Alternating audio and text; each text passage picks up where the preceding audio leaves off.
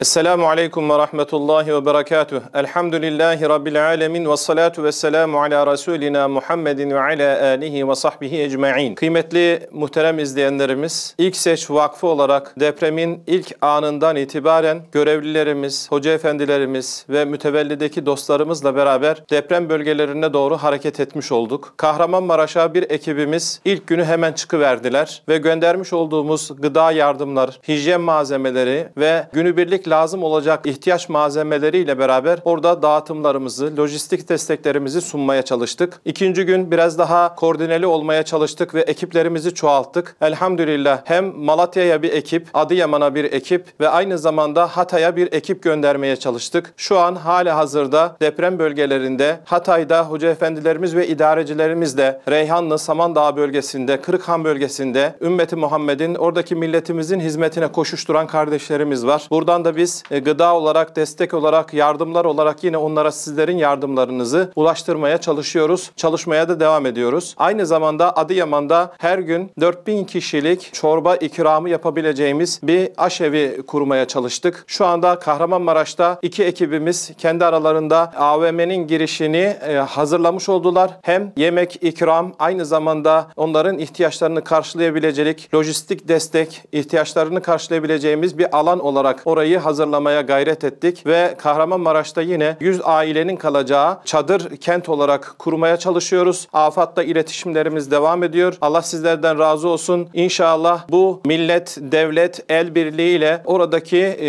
depremde etkilenen depremzedelerimize, mümin kardeşlerimize, milletimize desteklerinizi iletmiş olacağız. Yaklaşık e, hafız efendilerimiz ve hoca efendilerimiz, mütevellimizle beraber yüzü aşkın deprem yerinde görevli olan kardeşlerimizle ve sizlerin destekleriyle bu hizmetleri devam ettirmiş oluyoruz. Aynı zamanda bu hizmetleri yaparken diğer taraftan da hafız efendilerimizle dualarla, Kur'an hizmetleriyle, hatimlerle ölen rahmeti rahmana tevdi eylemiş olduğumuz deprem şehitlerimizin ruhlarını şahit etmeye çalışıyoruz. Niyazımız ve duamız odur ki Rabbimiz afat-ı semaviye ve araziyeden cümlemizi muhafaza eylesin. Ülkemizi, milletimizi, bölgelerimizi, alemi İslam'ı muhafaza eylesin. E, göçük altında olanlara Rabbim en kısa zamanda imdad eylesin. Onlara e, nusrete giden, yardıma giden, depremdeki insanlara ister lojistik, ister oradaki kurtarma ekiplerine Mevlam rahmetiyle muamele eylesin, yardım eylesin, nusret eylesin. Rabbimiz başta dualarıyla, madden, manen, bedeni çalışmalarıyla, destekleriyle Rabbimiz razı olsun. Esselamu Aleyküm ve Rahmetullahi ve Berekatuhu.